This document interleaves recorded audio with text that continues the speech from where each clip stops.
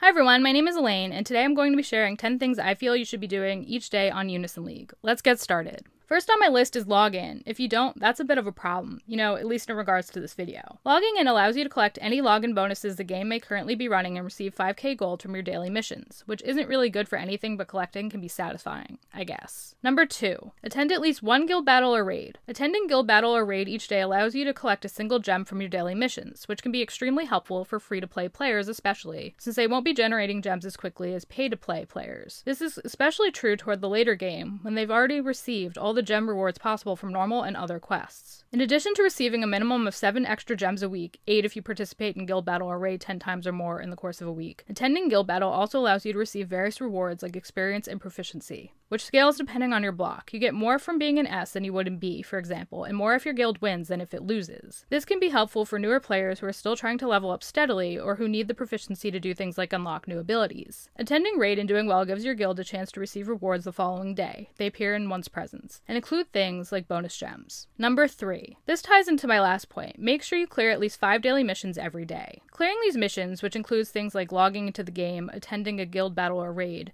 and clearing 3 quests of your choice, allows you to complete this daily mission and rewards you with 30 gem fragments. When you collect 100 fragments, you can forge a single gem. That's a gem every 3 to 4 days, again, helpful for free to play players especially. Number four, again, this ties into my last point and should be easy if you're actively completing it. Steadily work toward completing four weekly missions, which includes things like clearing 40 quests of your choice and augmenting 10 times, so you can get those two bonus gems, because who doesn't like bonus gems? Number 5. Converse with and or feed your pets. Feeding your pets makes them stronger, giving you bonus stat sticks you didn't have before. 20 to 40k in points depending on the type of pet and whether or not they're maxed out. Talking to your pets increases their happiness and makes it more likely that they'll show up during quests and use one of their abilities to help you. These abilities can be things like decreasing an enemy's physical attack by 10% for 10 seconds and increasing your magical defense by 10% for 10 seconds, which is a nice little bonus for minimal effort. Number 6. Go into town and visit your room. Make sure you browse 5 other rooms a day and like like them to increase your room's level, which steadily unlocks more furniture slots. The furniture increases your stats, things like physical and magical attack. Given the current stats of furniture gear, this can be a boost of about 20 to 30k or so across all of your stats. As an added bonus, some furniture gear have skills, which include things like increasing your resistance against blindness or increasing your resistance to confusion by one point. Number 7. Run quests to use up your AP.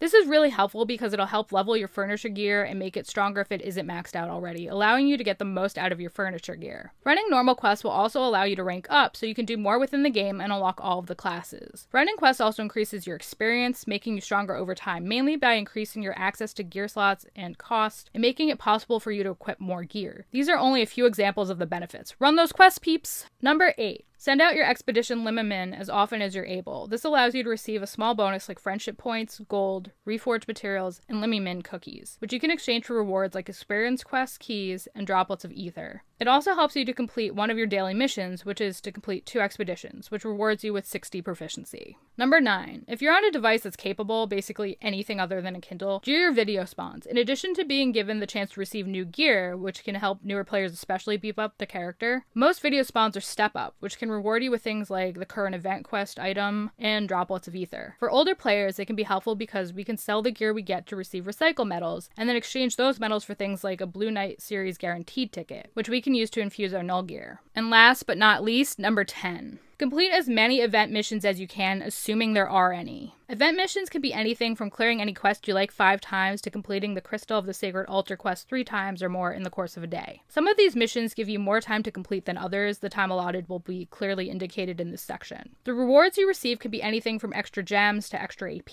to saving tickets, which you can use to spawn rewards like gems and proficiency scrolls. Now, who doesn't love a reward for doing things you had already intended on doing? Now, some of you might be wondering why I didn't mention go fishing. Here's why it's boring, time consuming, and the rewards are outdated even with the new updates. It's just not worth your time, especially when you consider how long some of the other tasks can take to complete. And there you have it, my list of 10 things you should be doing each time you play Unison League. What did you think of my list? Do you agree? Have I left something out? Let me know down below in the comments. I always like to know what you guys think. And if you like what you saw here today, please smash that like button until it's blue, subscribe, ring that bell so you know what's up, and I'll catch you all in the next one. Bye, guys.